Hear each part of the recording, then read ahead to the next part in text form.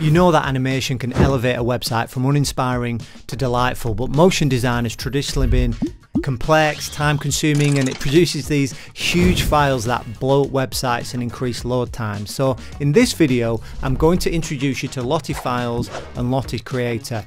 Tools which not only simplify the process of editing and creating vector animated graphics, but also make them super easy to deploy into your website.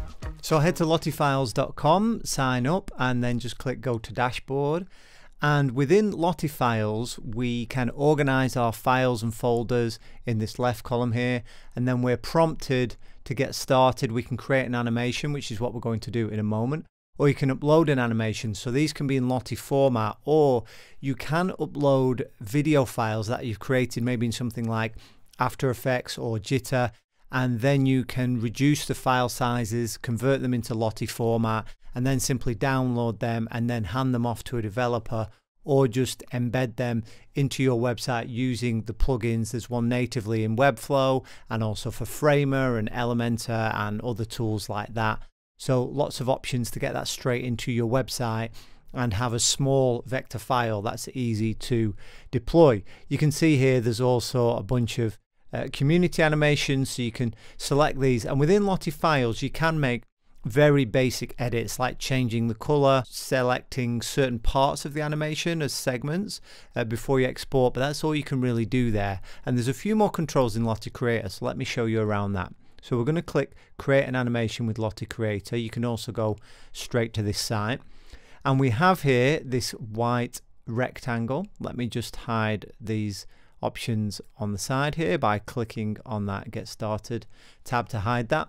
So this white rectangle is our canvas. It's indeed a square at the moment, 500 by 500. And we can click on this percentage number here to zoom to whatever size we want. And we see shift one is the shortcut to get back to 100%. Okay, so let's try and do something semi-useful here so you can learn how to use this program. So I'm going to upload some type and you can start actually with any SVG, either open animation from a URL if it's already a Lottie or here we can just browse for an asset on our computer and it will bring this straight into our canvas. Now you can see this is larger. I want to, I could just scale this thing down by dragging these handles or changing these percentage scales up here. But I want to actually change the canvas size. So I'm going to click in this area outside the canvas here just to deselect that item.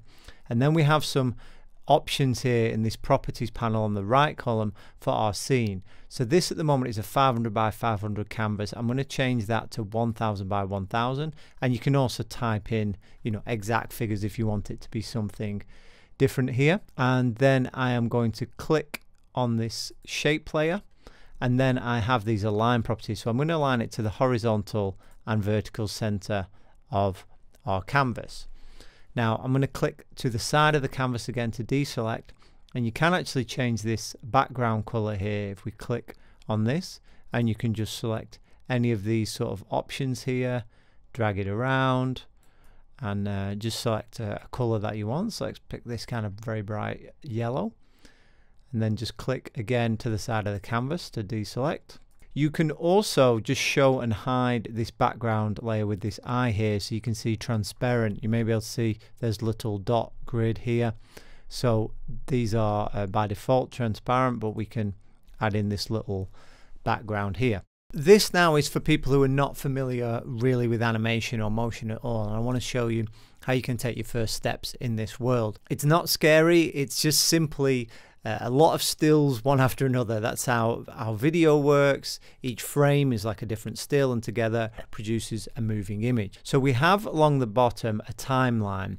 So that's just how uh, the time advances through as we click, click play we can see this red playhead moving from left to right just as it would in an audio file or anything like that so each one of these as we drag along one at a time is our frame. So you can see here it says 0s 1f so that's 0 seconds 1 frame and we can just drag along and see the number of frames changing there. So let's bring something in and show you what we can do with Lottie Creator. Let's rename this file first hey. We'll just call this motion and even if you don't have this type just make something up you can add uh, type yourself using this type tool on the left or just draw some lines or something but I want to add some circles here. So if we go up to the top toolbar where there's a rectangle there's a down arrow next to that click that and then click ellipse. And we can just click and drag now on our canvas and drag out an ellipse. Now if you hold shift it will maintain the proportions as perfect circle. Or if that's already selected if you've already got those width and height properties uh, linked together you can press shift and then it moves it back to uh, the ellipse. So it kind of just flips the so then once we've got our circle here which is currently blue I'm going to change this to 100% black which is already there within the document or we can just drag down here. Again click off to the side of the canvas. I've got this little circle here and I'm going to put these within the counters in the O's. So let's zoom in a little bit click on the percentage change that to 200 and I'm just going to click onto this shape and holding the mouse button down drag into here. Now this is a bit big so I'm going to hover over this corner till I get the scale tool holding shift and scale this down a bit and I'm just going to put it roughly in here just eyeball it so it's got sort of a similar sort of um, margin around this circle. Now you can see this ellipse here has now been added to our layers on the uh, bottom in our timeline above the shape layer which is the type. Now I want to duplicate this. So what I can there's a few ways I can do it but if I click here on the bar on the timeline itself which has selected this ellipse I can press command D which just duplicates this ellipse and it's selected one of them. You can see one is green and the other two are grayed out.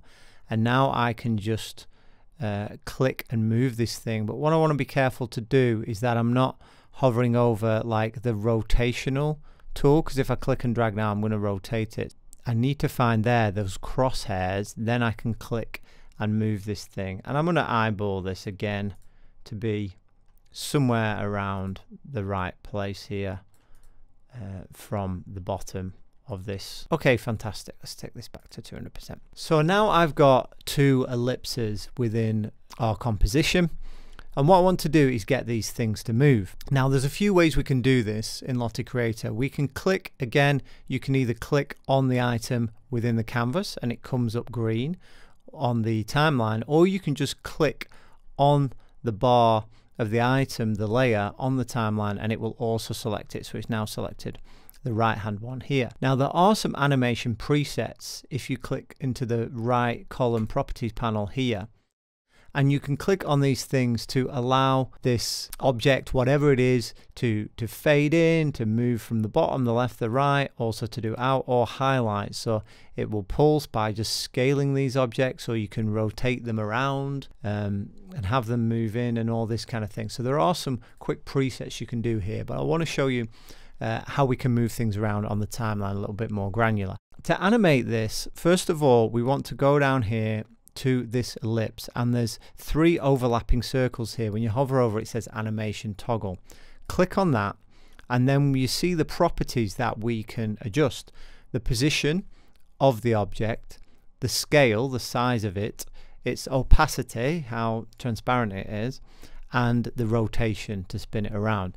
So if we click on the first one, position, you can see now on the timeline, if we just close this little pop-up menu, that it's made this shape here. And this is a keyframe. Now in animation a keyframe is a particular frame within the timeline where you set parameters for. And then between two keyframes the software does what's called a tween. It it moves the object between those two places what I want to do is we have this keyframe here and then I'm going to click and drag this red triangle playhead here over to two seconds exactly and zero frames and then I'm going to press this empty diamond here and it creates another keyframe at this point with the ellipse in the same position. Then I'm going to drag this playhead back towards one second and create another keyframe here. Now there's also a shortcut for this which we saw um, when we went to this animation toggle which is P. So if I just press P on the keyboard it also creates my keyframe here. And I want this to move up and down within these counters. So what I'm actually going to do is click on the other one and see what was the y axis property. So uh, the vertical uh, position of this element.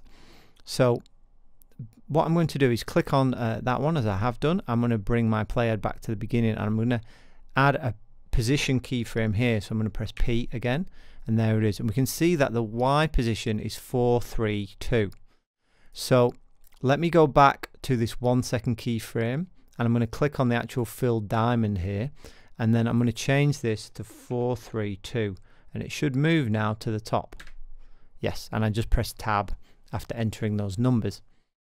Okay, fantastic. So now I want to do the same thing with the one on the bottom. I'm going to click on the rectangle layer uh, on the timeline. Still over one second, press P. It's made me a keyframe. I'm going to click here. I don't actually have to always drag the playhead. I can just click uh, within the time bar at the top where we see the second numbers there. And I'm bang on two seconds.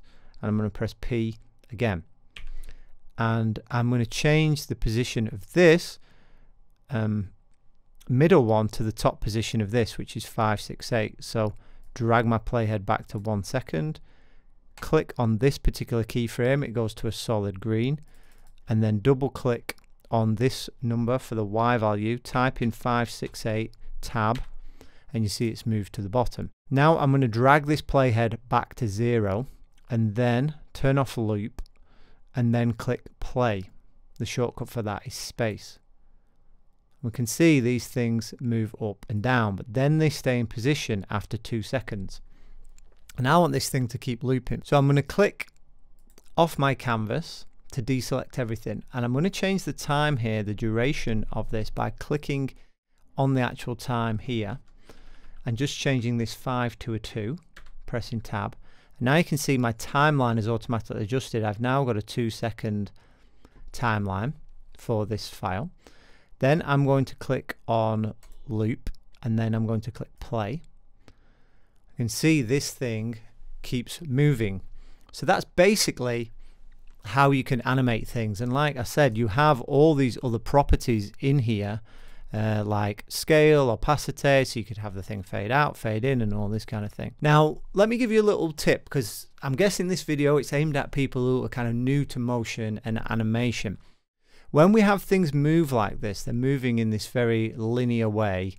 That is a certain look, but it doesn't really mimic physics and how things move in the real world. So I thought it might be cool uh, to have a little bit of shape to the way these things move so they don't move in this linear pace always at the same pace up and down through here so what I'm going to do is we go up to one second here which is 30 frames. We've got 30 frames per second because if we move back one frame you can see there's 29 there. Also if we click off to the side of the canvas it tells us there our frame rate is 30 frames per second.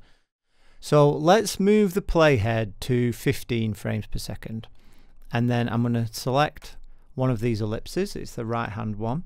By clicking on it at the bottom here then I'm going to press P to create a keyframe. What I want this thing to do is move a little bit quicker through the middle part of the journey that it has through here so actually it's probably better if I have a point before and after thinking about it so I'm going to get rid of this keyframe I'm just going to press command Z and it goes back on the last thing. You can also click on it and delete it. So I'm actually going to set a keyframe at 10 seconds, press P, and then one at 20 seconds and press P.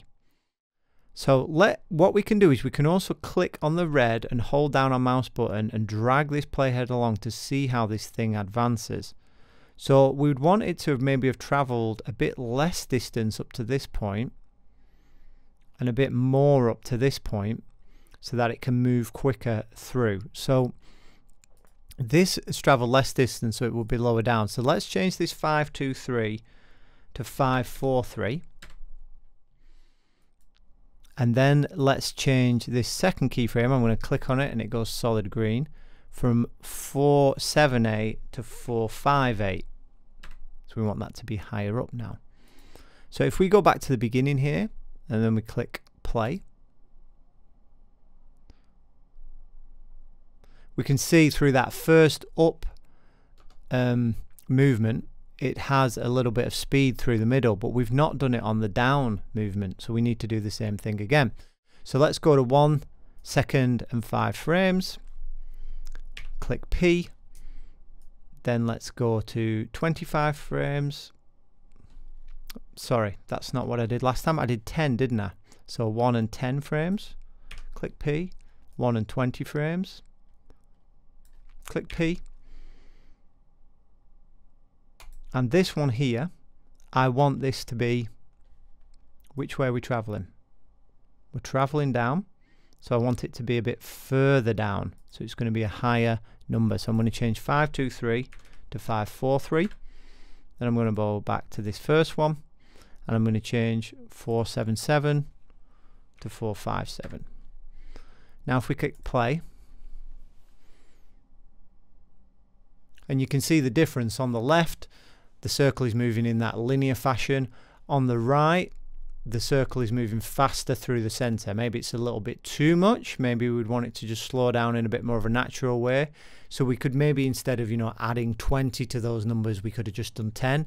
Uh, but it demonstrates the kind of thing you can do. If we zoom this out to 100%, we can sort of see the composition. Something like this created very quickly, even with me taking the time to explain it um, very, very slowly. Now, whether it's something you've uploaded or whether it's something you've created like this, all we need to do now is export this Lottie and save the actual file and then we can upload that and deploy that into our website. If you click export here, it will launch your web space and you see it's done it on this transparent background so that yellow is kind of just for us to, to look and see how it goes. You can choose which folder that you want it in. We're going to call it motion. We click save. And it saves this into our Lottie Files workspace. So whether it's something we've created in Creator or we've loaded here from uh, the community options uh, from from one of these things here either way um, it will go in here so let's just go back to our motion file.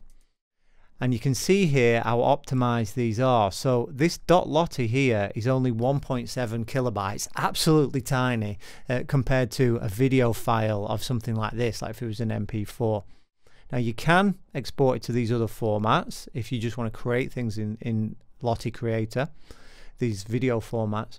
But from here we do this. Now all you need to do is click download and you do need one of the plans to do this and you can see the prices here and then once you download that file that can be imported natively into Webflow, Framer, Elementor, Wix, lots of other options to get it onto your website. If you were bringing something in here just to demonstrate the options are uh, much fewer on what you can change. There is a color palette button here uh, and you can click on these preset palettes and it will just change. Now, obviously, we've got everything in one color, so it will just kind of change, you know, this one thing. If you had a few elements, it would kind of intelligently figure out what color you wanted. You can also here just create a new palette. So say uh, this pink is your brand color. You can save that and then click on that and then have the option to just change it into that color. The one other thing you can do within files that is relevant is to segment things. So if you click here on this uh, button here, segments and mockups, and then add a segment, what you can do is actually choose which frames you want it to cycle through here and whether you want to loop or play once. So for example, if you've got something uh, which animates one way on load and then when you hover over it, it does something else, so it plays the next stage, you can set that up here. And then you can also add comments in here to tell your developers how you want them to deploy that, perhaps pay attention to the segments uh, that you've established here. The one other way to get it onto your website is actually through these embed links. You can actually enable an asset link and this will be uploaded on uh, Lottie's server and through that that can also be uh, embedded here you can use iframes, you can use a Lottie player, and that's another way to integrate them into your website. Let us know in the comments if this looks interesting and what ideas it's inspired. How are you going to use Lotties in your website? So until next time, happy designing.